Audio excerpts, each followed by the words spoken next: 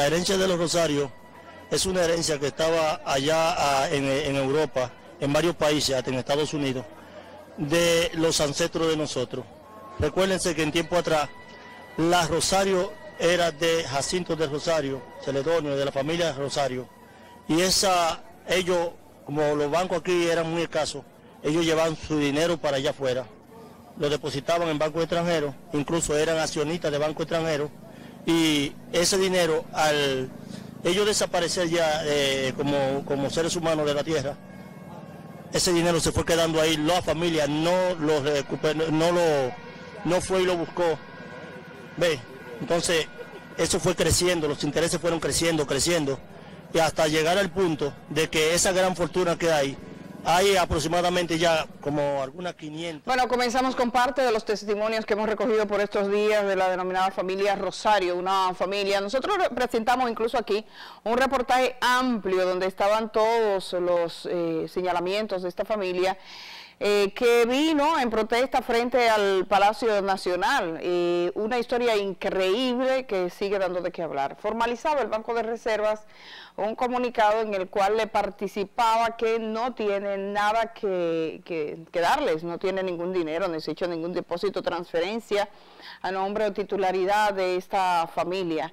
Eh, he estado buscando ampliamente en redes sociales y ustedes pueden encontrar en esas mismas redes cómo eh, la familia Rosario se anima entre sí como si fuera una iglesia, como si fuera una secta, cantando con canciones, rezan, se encuentran. Es una cantidad increíble de cosas que nos dicen. En cierto modo lo que nos revela es un tipo de ingenuidad que permite que la gente en este país sea estafada por cualquier eh, por cualquiera que viene predicándole, diciéndole o prometiéndole, sea el reino, sea dinero, sea fortuna, sea fama, sea poder. Ahí está la familia Rosario caminando en sus marchas. Real nos dice muchas cosas. Es el abogado encargado de la familia Rosario, sobre el cual no se le ha dado mucha notificación a la familia y la familia está desesperada, esperando una información veraz y concisa en conjunto al presidente de la República Dominicana. No, nosotros le pedimos al presidente de la República que intervenga, en este caso.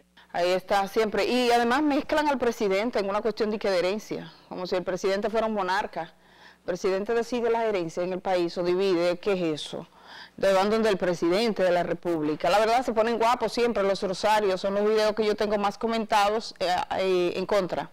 Ese tema y el de Venezuela son los que encuentran más opositores acá, en los dos, en los videos que subimos de ellos. Pero llamar sí la atención de la gente. Hay alguna gente que ya ha dejado de creer en esto, pero señores, eso no es una cuestión de fe tengan datos concretos y específicos. Si una banca le está diciendo, no, que eso no es el banco, miren el comunicado, no, porque no está firmado.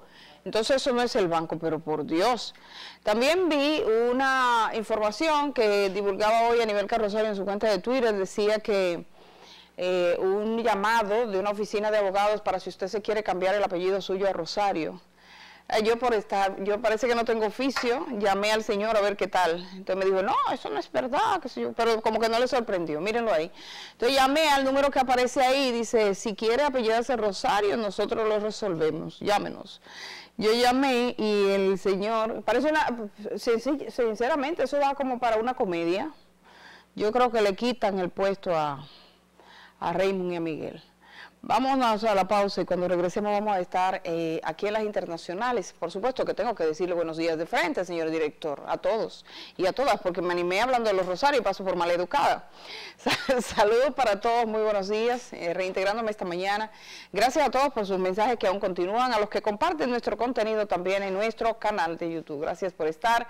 Hoy es jueves, cada 15 días compartimos eh, la mirada a nivel internacional. Nos acompaña, como siempre, Sara Simón desde España y Eliades Acosta Matos en nuestros estudios. Prepárense para formular sus preguntas, sobre todo Eliades, a quien en la intervención pasada le entraron de duro. Yo le voy a comentar a Eliades parte de eso, porque había mucha gente que estaba como, como están los rosarios conmigo.